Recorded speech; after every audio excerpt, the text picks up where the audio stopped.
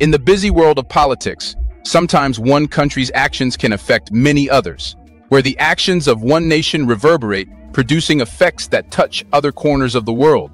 Like when you drop a stone in water, the ripples spread out. The recent event in Russia, particularly the death of Yevgeny Prigozhin, a once Kremlin-aligned figure, is one such moment.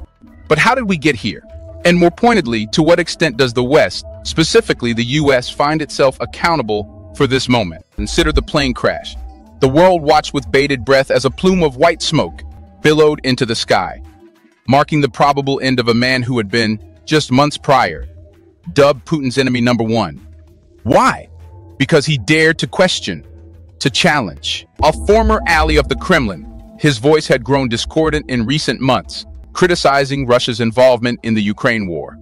A once celebrated figure had now become a thorn in Putin's side. Hello and welcome back to Innovative Check YouTube channel, where we delve into the innovative and transformative projects changing our world. If you're new to the channel and enjoy learning about innovation stories around the world, you've come to the right place. Please subscribe, like, and comment to help boost our videos on YouTube. Now, let's begin. But is it just Russia's internal politics that caused this downfall? The U.S.'s stance on Russia's involvement in Ukraine has been clear, even vehement at times.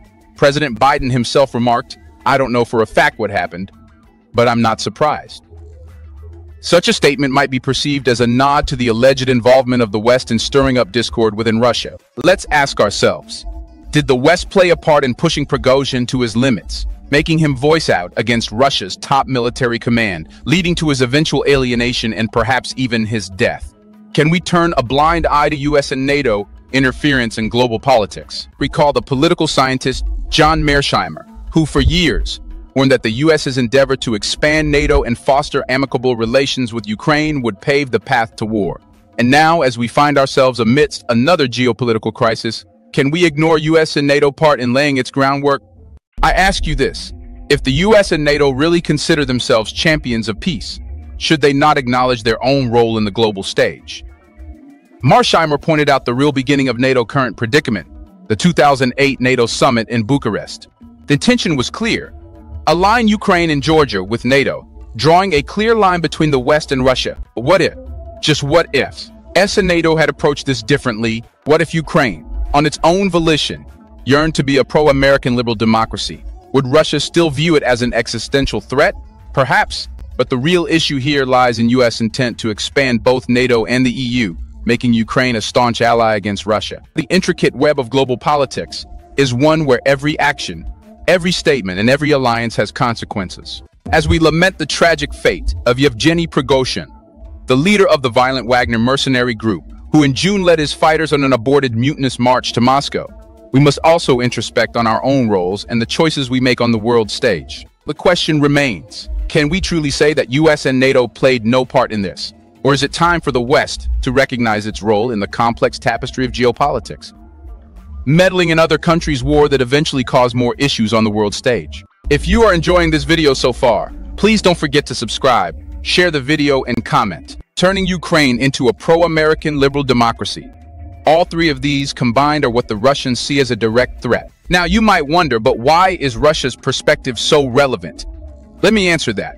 Because understanding the dynamics that have driven this situation is critical. Ukraine geographically and historically has been at the crossroads of East and West. Let me repeat this statement the second time, because it's very important. But why is Russia's perspective so relevant? Let me answer that. Because understanding the dynamics that have driven this situation is critical. Ukraine geographically and historically has been at the crossroads of East and West. And every nation, including Russia and the US, has its own sphere of influence, a domain where they feel their security is deeply entrenched for Russia, Ukraine lies within that domain. Just like Mexico or Cuba to the United States of America, the United States, from its inception, has abided by the Monroe Doctrine, which essentially warned European nations against meddling in the affairs of the Western Hemisphere. America considered any intervention by European powers in the Western Hemisphere as a potential threat. Similarly, Russia sees NATO expansion towards its borders, particularly in Ukraine, as a direct infringement on its sphere of influence. But here's the thing. Ukraine is not just a chess piece on the global board. It's a sovereign nation with its own aspirations. The question is, Does Ukraine not have the right to choose its own alliances? Does it not have the right to align itself more with the West if it sees fit? The West, and particularly the U.S., has to shoulder some blame for the current crisis. Not because Ukraine wishes to join NATO or the EU or even become a liberal democracy, but because, historically, Western powers have not been good listeners. When Russia voiced its concerns over NATO expansion, they were dismissed. When Russia reiterated its strategic interests, they were overlooked.